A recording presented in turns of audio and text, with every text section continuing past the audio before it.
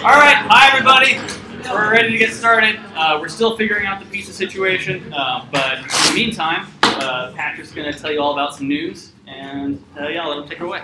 Hi. All right. Uh, so briefly through the news this week, uh, we're going to start with our Chicago biohacking space that is launching. Hi, so I'm Khalid. I'm a postdoc in the Lux Lab. Uh, when I moved to Chicago last year, I was surprised that the second city did not actually have a community biology space. So for those of you who are unfamiliar with this, um, this is really similar to the maker and hacker spaces that people have for creating software and hardware and just in general, new and useful things. So myself, uh, Andy Scarpelli, which is a former PhD student from the Leonard Lab, um, Isaac Larkin, Jordan Harrison, and Peter Sue, we are launching Chicago's first community biology lab. So we're hoping that our mission is basically to um, enable access to knowledge, skills, and tools of biotechnology to all the citizens of Chicago who want to use biotechnology to make Chicago a better place. So we're having our very first meeting uh, August 9th at 7 p.m. at the Empirical Brewery Tap Room. Um, this is at Ravenswood and Foster. And we'd love for you guys to join us to talk about what a community biology lab can do in Chicago and to learn how to get involved. And you can follow us on Twitter at ShytownBio, on Facebook at facebook.com slash ChiTownBio, and eventually, hopefully soon by this weekend at ChiTownBio.org. Thanks.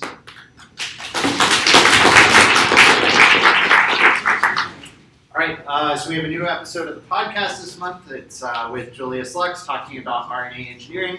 Find that on our SoundCloud. Um, by the way, all of the links for this are available in the email Isaac sent out if you're not on the GeneLabs listserv. Uh, when you get pizza, there's a place to sign up so you can get our emails. Uh, all the videos from Synthetic Biology 7.0 are available online, so you can find five days-ish worth of talks uh, for your viewing pleasure. SynBio Books, uh, we have a new one this month called Synthetic by Sophia Bruce, which is a first-person account of kind of how the synthetic biology field started. And then again, uh, Jennifer's book, uh, Crafting Creation, on her CRISPR discovery. Uh, there's a new website out, NeoLife, which is a, uh, sorry, I like standing off to the side. It's less intimidating that way. All right, so NeoLife is a uh, new blog from Medium, and there's a lot of different articles about uh, specifically focused on bioengineering. There's a camera, cool. Specifically focused on bioengineering. Uh, there was a cover story in Newsweek on uh, the new natural selection or how we're using bioengineering uh, to address a lot of problems. This is a very, I guess, public-friendly article, so you can share it with your friends and family. Uh, in the bioethics field this uh, month, uh, MIT researchers reported that they had efficiently used CRISPR-Cas9 to modify human embryos in the United States. Uh, there's an article in the Baltimore Sun, an editorial um, from Gigi here about uh, that we need to double down on our synthetic biology funding so we can maintain our competitiveness in the scientific fields of the country. Uh, she has written a lot of books on synthetic biology, biosafety, uh, things like that. So this is her um, her book here, but the article is also on the Baltimore Sun. Um, the Audubon Society posted an article this month about uh, using CRISPR-Cas9 gene drives to uh, wipe out some mice and save birds. So this was a cool story to read. Uh, the Pentagon has partnered with the National Academy of Sciences to create a panel to study the threat of synthetic bioweapons. They released a preliminary report. Uh, you can read about that on Wired. Uh, and so what they are worried about are things like this, where a team in Canada spent $100,000 in six months of time, and they were able to, from scratch, create a smallpox virus. Um, Horsepox. Horsepox, sorry. Yeah, big difference there. smallpox is not back. Um, so horsepox. The point of this was to show that you can engineer uh, viruses for cancer therapy but also has opened up a discussion on kind of the dual use and how easy this was to do. Um, DARPA has announced uh, grants for seven teams in the Safe Genes uh, Toolkit, working on tools to uh, make these technologies safer to release and more resistant to editing and uh, loss or tampering. Uh, also in grant funding news, the NIH put out their first ever synthetic biology call for proposals. So this is an R01 mechanism sponsored by uh, Bioimaging Bioengineering, National Cancer Institute. And so this has been really a big push. NSF's into it, DARPA's into it, and now the NIH is finally jumping on board. Uh, also in this month, big news, the FDA panel recommended the first synthetic biology uh, cell-based therapy, the T-cell CARs, for approval. This is Emily Whitehead, who was the first patient to get a T-cell CAR back in 2011, and now we're done with the phase three clinical trial. So this is very promising for um, the field and what a lot of this technology could wind up doing. Uh, so DuPont has secured the exclusive rights to a CRISPR-Cas9 technology for gene editing for uh, agriculture purposes. Uh, Google's sub, uh, parent company, Alphabet, has a subsidiary called Verify that is planning on launching uh, 20 million sterilized mosquitoes uh, in California. This is what a mosquito farm looks like, by the way. That's I thought that was a pretty cool picture. Um, the mosquitoes, Oxitec is launching their friendly mosquito project in Brazil. They have a contract to do that, and Arzeda, the not talking about mosquitoes here now. Arzeda, which is David Baker's company, big protein engineering space, has a $12 million in their Series A round of funding uh, for his protein engineering startup. Uh, so a terabyte server of DNA would cost currently $2 billion.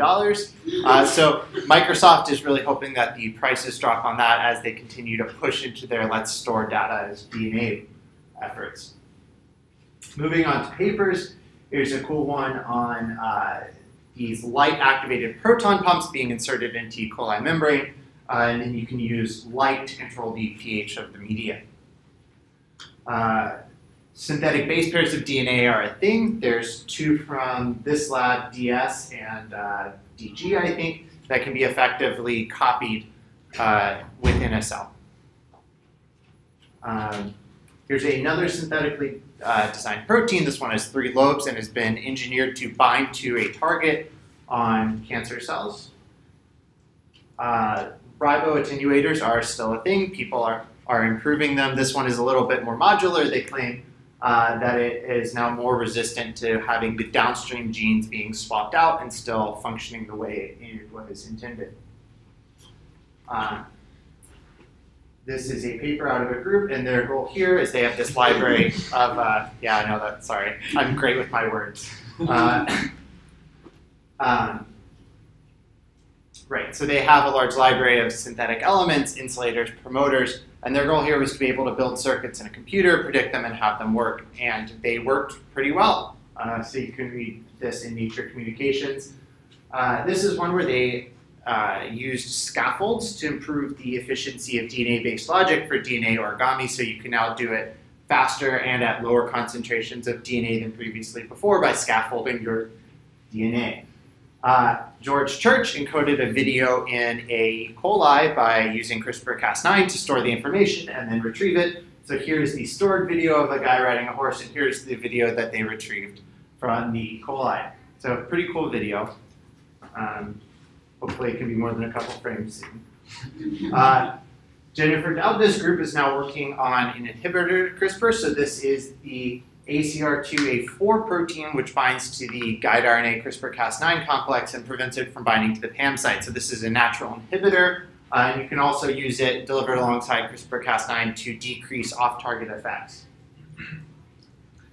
Um, in cell, other people are working on being able to study CRISPR-Cas9 using Illumina high-throughput sequencing.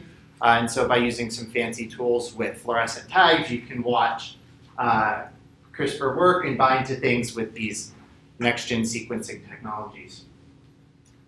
Uh, here's one. So cell-based therapies are currently done by pulling cells out of a patient and engineering them there. It takes five to six weeks. You have to have GMP compliance. But if you could just deliver the genes into the patient, that would save a lot of time and money. And so this group's created a synthetic nanoparticle uh, that can deliver the CAR genes right into the T cells in the mouse, uh, and they work pretty well. Uh, here's a paper from Jake Beal. Uh, if you ever wonder why things are always log normal in biology, uh, this paper has the answers. Uh, and then why was there a tardigrade on our posters this week? And that's because a group took the, some of the resistance genes out of the tardigrades and put them in human cells to confer radio resistance to things like X-rays uh, and hydrogen peroxide as well. And that's it.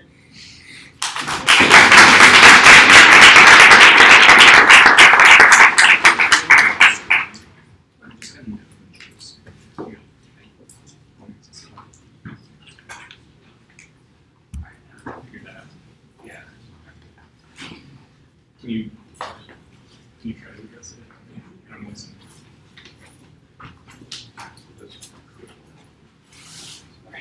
Thank you, Patrick. Uh, it is my pleasure, the rest of GMOD's pleasure, I think, today to introduce uh, Special Agent Scott Malik. Uh, Malik? That's it. Malik, sorry. Um, who's the uh, coordinator of weapons of mass destruction for FBI, located here in Chicago, and he's got a really great talk ready for us. Uh, I, for one, am really excited to hear what you got to say. So, thank you.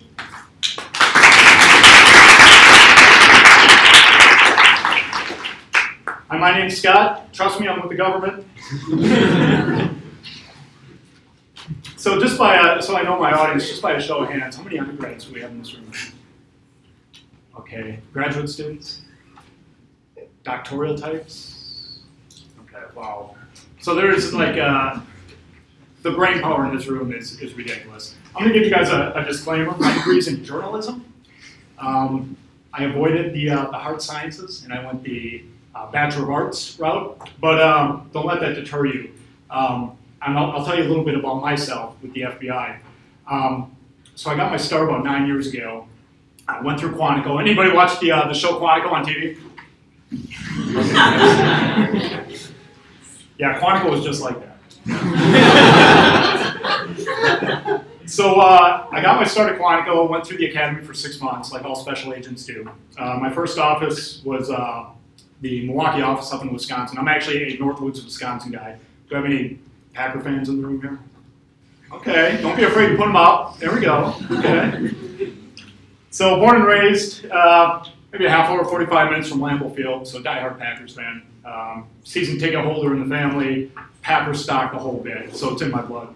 But I got my start in Milwaukee Division um, in a small office in Kenosha. So the FBI we have 56 field offices, and then from there we have what we call uh, resident agencies, which are kind of remote offices. So Chicago has a handful of remote offices to the north, the west, the south, um, and then over at uh, O'Hare Airport.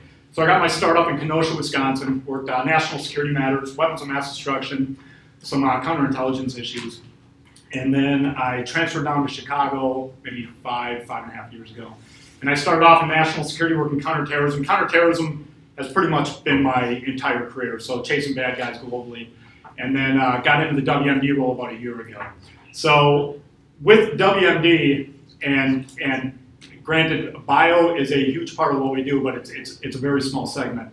So what this presentation is going to do is really familiarize yourself with the WMD program, with the FBI, our reach back capability, some of the cool stuff we've been doing lately in terms of uh, uh, case studies, uh, things like that. So I want to start off with and I got to, uh, brings a tear to my eye, but I got to uh, edit this slide to former FBI Director James Comey. Uh, Director Comey was a, yeah, he was a great man. He really was. I actually had lunch with him back last October, and it was uh, one of the highlights of my career thus far. But uh, but a great man. Everybody loved him in the FBI, and it's uh, it's really a loss that, uh, that he left the way he did. But really, he says it best. Our weapons of mass destruction director continues to do the work and worry about the things you and the American people don't need to worry about because they do. Theirs is fascinating, high stress, and thankless work. And we labor in the shadows because our job is to think about and prepare for the worst so nobody here in the homeland experiences it. So some of the areas that we're going to be talking about today. So, program interview. In terms of programs within the FBI, the WMD director is really the new kid on the block. And when I talk programs in the FBI, we're talking your criminal programs, your counterterrorism programs, white collar programs, uh, drug, gang programs. So the directorate, um, and what a directorate is, that's our own section up at FBI headquarters. So that kind of dictates the intelligence collection and what we do here on the ground level um, in the individual field offices. So what we do is uh, we go out and we seek and rely on intelligence to drive preparedness, countermeasures, and investigations to keep those threats from becoming a reality here. And we support the broader work of the U.S. government and, uh, and policy through the uh, kind of the larger picture of the U.S. government up to the uh, decision makers. So these are the authorities granted to the WMD program, and we focus on a couple of different areas. So the explosive incendiary or poisonous gas release dissemination, or the impact of a toxin or poisonous chemicals and their precursors, kind of what, what you guys deal with uh, here on the bio and chemical front. Uh, disease organisms, again, on the bio side, and the release of radiation or uh, radioactivity at a level that's dangerous to human life. So those are the, those are the authorities granted um, through us to investigate on the WMD side, and then we can, uh, we can prosecute.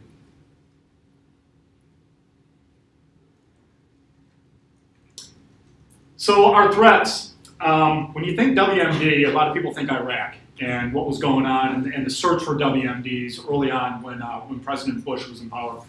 Um, so the main modalities of WMD, your, your chem, your bio, your new, your radiological threats. But we also focus on the secondary threats of transportation, food, water, and critical infrastructure.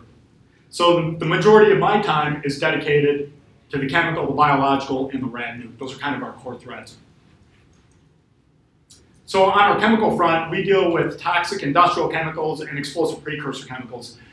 And this is the stuff that really keeps me up at, awake at night because this is the stuff that's readily available. This is the stuff you can walk into Lowe's or Home Depot and you can acquire this stuff to no end, right? There's really no, no checks or balances or stops. So really what my job is, it's to go out there and inform um, people that are on the front lines, people that are, that are working in these industries and these retailers um, what maybe a suspicious purchase might look like.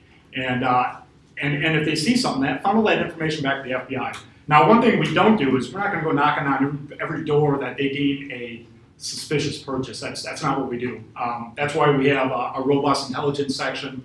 We work with our partners um, nationally, uh, within the U.S. intelligence community, uh, state, local partners, and rely on them for information so we can make the best determination on how we need to approach this threat and what we need to do.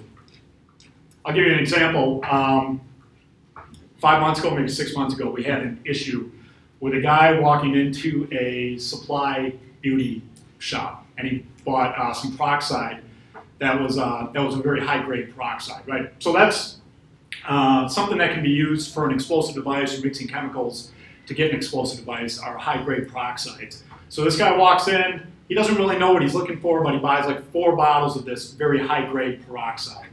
And the guy was kind of lost in this. And he's a bald guy too, right? Like me. I have no business being in a beauty supply place, right? or barbershop for that matter. So this guy walks in, he buys some stuff. Um, they called the FBI and said, you know what, there's this guy, he came in, he bought four bottles of very high grade, high concentrated peroxides. You know, the hair on the back of our neck is standing up a little bit. It just didn't seem right. He was outside of our normal customer base kind of deviated outside what a normal purchase would be. So could you guys check it out? So we did. So we uh, we look at the leads, we we run intelligence, we we talk to our local partners. We get the full story on this guy, right? And then we're finally ready to do an approach. So we go to the guy's house, knock on the door, and we go in. So we start talking to him. And what he was using it for was he was a taxidermist. So he was using these to bleach um, deer skulls and different things like that that you kind of hang on your wall, right? Legitimate purpose, but but something like that. It's and with the WMD program, it's really all or nothing. So we approach every issue, no matter what it is, the same way, and we approach every issue um, like it's somebody that's going to on their way down to the loop and, and they're going to do something nefarious or disrupt commerce or, or, take human life. That's how we approach every issue, in, in, unless it's deemed otherwise. So that's how important this program is, and that's how serious we take this. So then your biological threats. So one area we're really getting into is the DIY bio, uh, biohacking. And that's really one of the reasons why I'm here today. Uh, the other area that we get into on the biological front are your select agent labs. So people here in the audience, you, you guys know what select agents are. You know about select agent labs for the most part. Your tularemia, your, your uh, you name it, anthrax. You know, these are the things that are highly regulated that are in, that are in labs located all over the place. So for us, it's really important getting out and doing outreach and visiting these labs and kind of uh, introducing ourselves and seeing what their security protocols are. Um, also, one thing that keeps me awake at night is the, uh, the insider threat.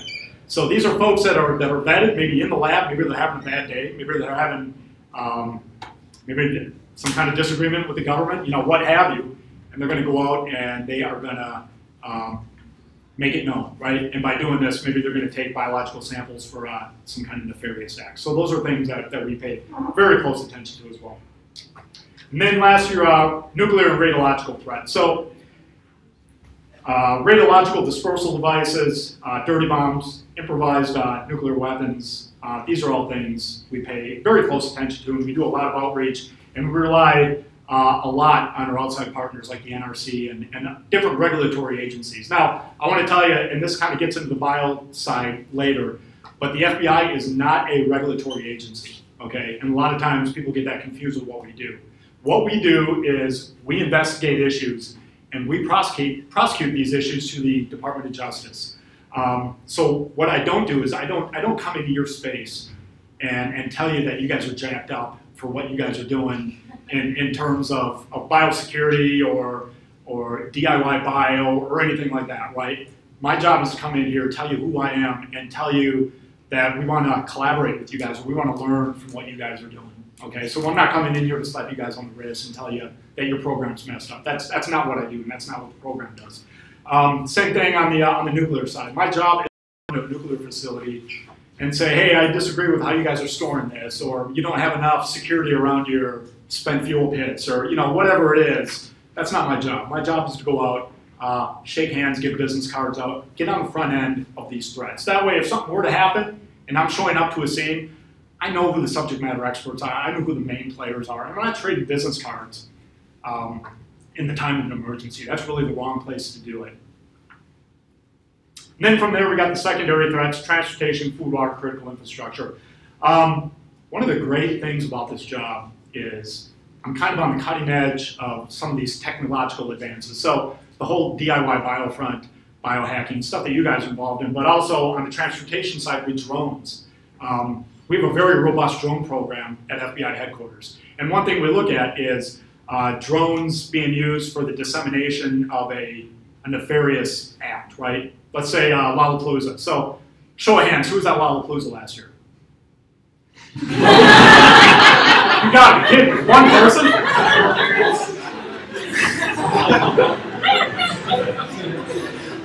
College has changed. So. I'm just I'm gonna sit down. This is ridiculous. Well, you guys are poor college students, right? You can't afford the thousand dollars for like a three day ticket or whatever, whatever ridiculous amount they're charging. So I get it. So I'll, I'll use a great example. So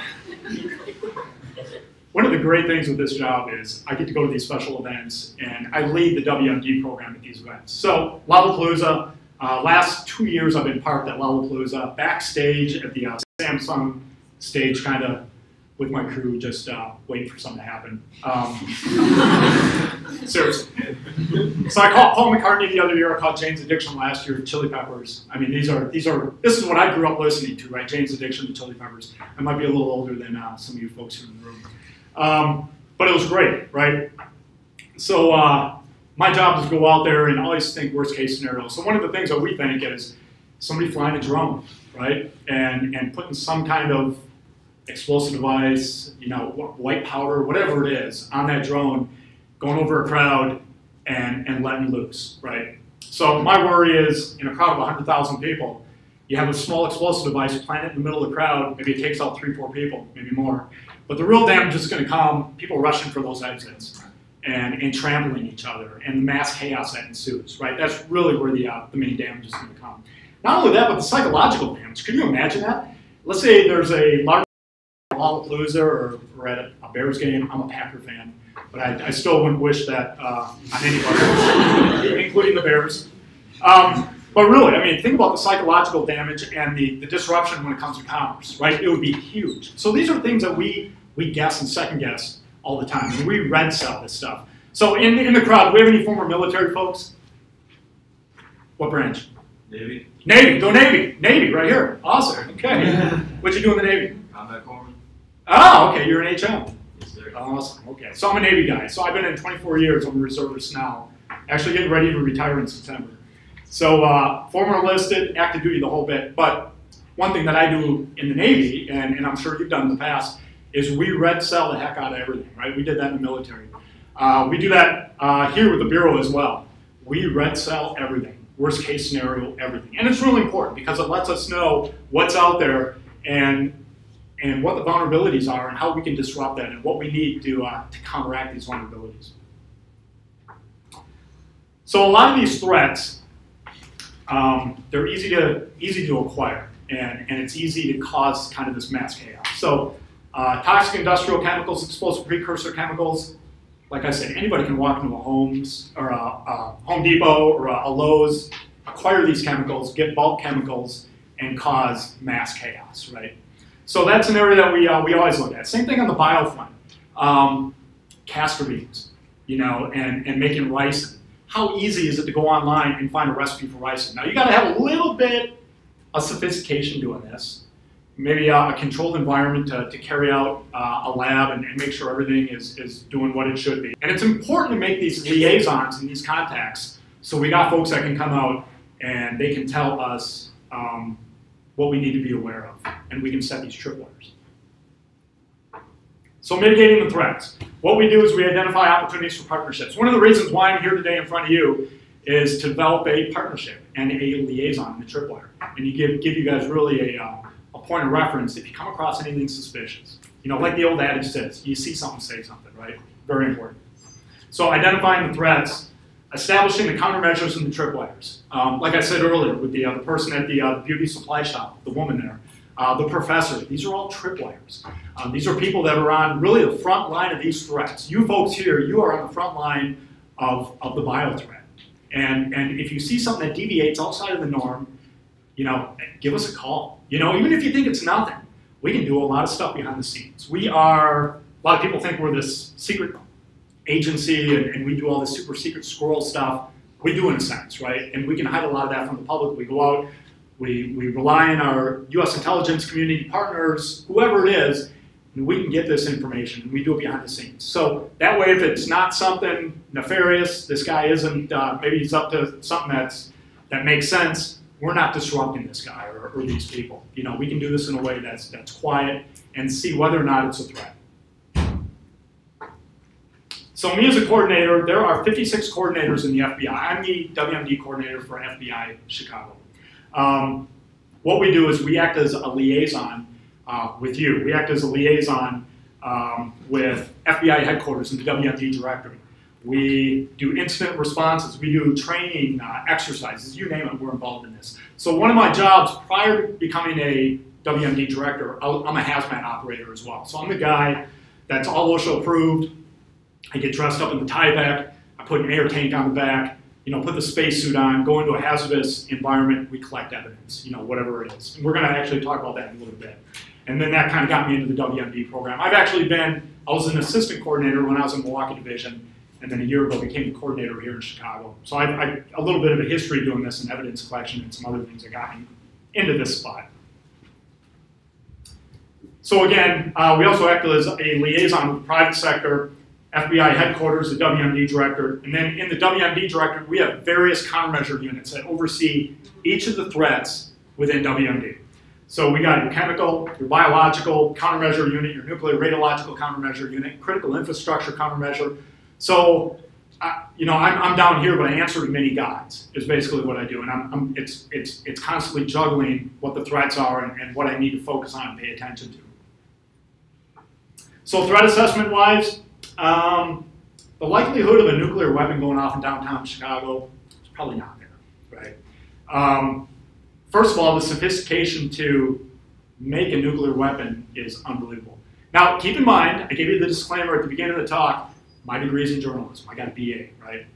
So, but what I do understand is there are regulatory agencies like the NRC and, and there's, there's thousands of them out there that have a very tight grasp on the nuclear technologies, so something doesn't happen, right? But then you start going up the scale. So chemical weapons, again, uh, maybe a little bit of a degree of sophistication. These are things that are that are fairly well controlled. Um, radiological isotopes. Now we start getting into higher probability actions and attacks. Uh, biological and pathogen, pathogens. Now you got to have some degree of sophistication. You got to kind of know what you're doing. You got to have that controlled environment and you got to have a proper dissemination channel to make this uh, attack happen. Uh, then we get up to the industrial chemicals and the explosive devices. Now, these are things that are acquired very easily online, and anybody can really make in your, your basement or your garage. So how we mitigate the threat is through what we call a threat credibility evaluation. And in government, we got a fancy term for everything, right? So basically what this is, it's a conference call. Okay, let's call it what it is. It's a conference call. but what we do is we look at kind of a, a threefold approach to validating what a, what a credible threat might be. So your technical feasibility. So let's say we get a call, somebody's maybe, we get a report that somebody's making ricin or some kind of biological toxin for something nefarious. So we get the call, we take a look, we're like, you know what, yeah, this guy, he's a grad student at Northwestern. Where, where are my grad students again? Yeah, not as many hands. so he's a grad student at Northwestern. Um, you know, we, we talked to his professors or, or, maybe his roommates. Yeah, you know what? He's been really PO'd lately at, at kind of the government's policy and, and some of the stuff that, uh, that President Trump has been doing. Um, you know, so that's now we're looking at kind of two things, right? So we got the technical feasibility, we got kind of the, the know-how, we got the intent, right? Because he, he's talking displeasure about politics. Um, and now we're starting to look at the operational practicality. So he's a student at Northwestern. Maybe he has access to labs or We don't really know that. That's something we got to flush out. So we take the three things, we look them, uh, we kind of clump them together, and then we feed intelligence into that as well. Now we got a threat, right? And that's how we approach it. So what we do is uh, I make a call to the WMD director at FBI headquarters. We convene a conference call. Um, and we have, in this program, the reach back capability is unbelievable. So what we have on WMD is we have the FBI lab. So who's ever heard of the FBI lab? Why, you gotta be kidding me. What? So we're, we're my, who, who watches Quantico? Yeah, my, one, two people. Okay. So in Quantico, they, they talk about the FBI lab, don't they? Okay. Quantico, stop. Stop watching Quantico. so the FBI lab is really the the lab in the. I'm going to say the lab in the world when it comes to forensic science. The stuff they do there is unbelievable. They hire the best and brightest. Uh, really, the world has to offer, and the stuff they do there is is amazing. Um, so you can you can you can give them a shell casing from a, maybe a murder, and they're able to identify maybe the weapon and the stuff they do there is it's, it's really science fiction. It's, it's just amazing. They have brilliant minds. So we can lean on them. We can lean on my other three-letter agencies, CIA, uh, Department of Energy, you name it. We can rely on them. Uh, other folks within the FBI, local partners, whatever it is, we can rely on these folks, and they can uh, they can help us making out the uh, the best determination on how we're going to approach this issue and ultimately what we're going to do with it. And that also kind of controls our response posture. So we can mobilize our hesitant, hazardous evidence response team, our local evidence response team, uh, our SWAT guys. Uh, we can mobilize assets that are what we call national assets from out in DC, so they can fly in big black planes and big black vehicles and Suburbans, a whole bit. They can fly in scientists, subject matter experts, whatever it is, to help combat whatever threat it is. So again, this kind of goes back into how we coordinate those assets, uh, starting state and locally all the way up to our, our, national assets with the FBI. So contacts and resources, obviously your first call is always going to be 911 if you see something. Um, suspicious activity in 911 or the FBI, but really what the FBI has, and, and I've kind of talked about this earlier, are robust um, uh, channels, communications, reachback capability, uh, national assets, um, international trends, international terrorism, we can see what's going on overseas. We get this information all the time. Um, and we can kind of marry that up with what's going on here. I can talk to my other 55 WMD coordinators located around the nation. And they can tell me what they're seeing in their backyard. Maybe it's maybe it's ventured into Chicago. I don't know. But um, that's really the beauty of the FBI and some of the work that we can do behind the scenes. So there's some uh, information for you. Basically, go on Google, uh, Google FBI WMD. There's a wealth of information and case studies on there. So again, uh, Special Agent Mahloch, FBI. Does anybody have any questions? Yes. What is the time scale between like getting a phone call like somebody just bought some suspicious stuff at my Lowe's and having a conference and then finding that person if you identify a threat? Uh, Quantico TV show. Answer that question for me. Within like 20 minutes of the episode. Right, yeah. plus, or minus commercials, depending on how late in the episode this happens, right? No, so for us, our response mechanism is very stable. Okay, so when that initial call goes out, I'll, I'll use Chicago as an example. When that call goes out, the first responders are going to be Chicago Fire Department hazmat. They're going to respond on the scene to all this stuff. But I'm clued in through the 911 center. I get email alerts and, and alerts on my phone about different things that are going on. So I'm usually notified about the same time that they are. But they're going to be the first responders. So they go out, they take a look at what's going on. If it's something that needs the FBI to take a look at, or, or they think it's something beyond their capabilities, uh, they're going to get on the phone with me. We're going to start talking. And then I take that information, uh, arrive on scene, relay that information to our, our national folks, and we start getting the ball moving there. Any, yeah. So I just want to clarify this point. You say that political activism or outspoken political opinions are considered a risk factor for scientists working with bioengineering biology? Uh,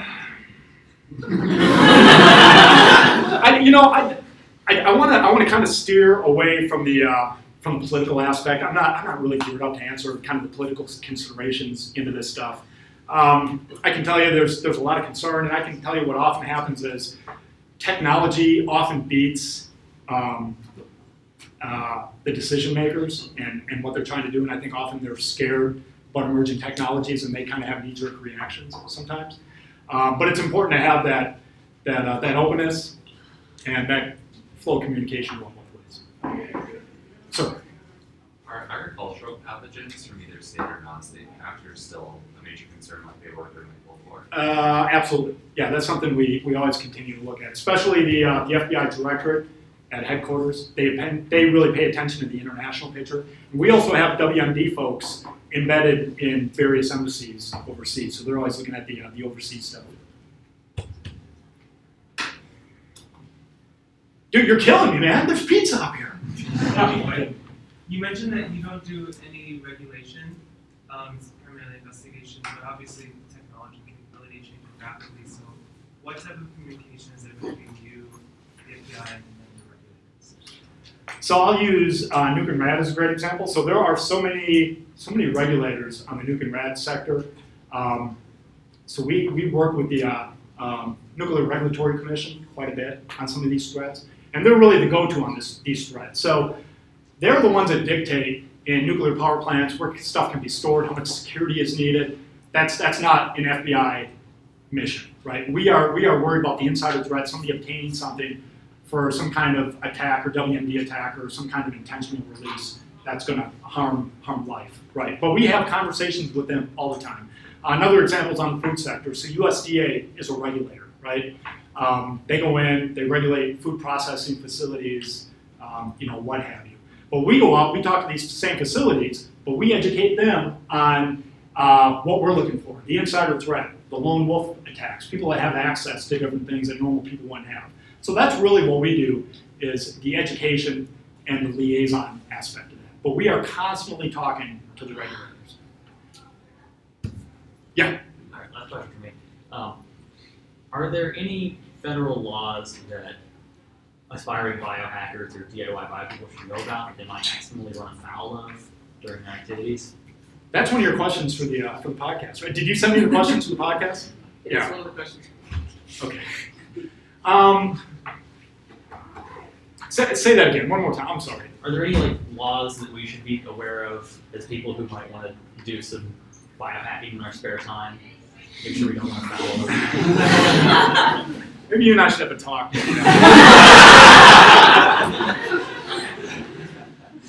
um, you know, not not that I know of. I don't think. Um, again, this is an area where the technology is kind of outpacing the regulators and the lawmakers, and they look at the, they often look at technologies like this and they come up with laws to regulate it without really having a deep understanding of really what's going on. So, you know, the, the biological front and DIY bio, what an exciting field, especially when we're talking about the possibility of, of erasing disease and, and all the other possibilities um, that this the science has. It's, it's incredible, right? But we're always worried about that, that, that fraction of a percent that wants to do something nefarious. Um, you know, so that's that's a worry. But to my knowledge, I don't I don't think there is. You know, I, I, I could be wrong. I mean, state locally, I don't believe there is. Federally, I don't believe there is. Don't take my word for it. But I mean, there could be something. Anybody else? Okay. All right, let's go.